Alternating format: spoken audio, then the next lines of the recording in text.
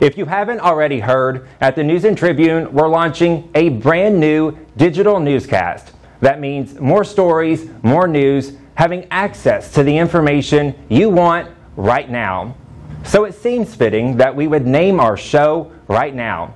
Be sure to keep up with us on our social media pages on Facebook, Instagram, and on Twitter as we bring you more information on this exciting new venture in the coming days.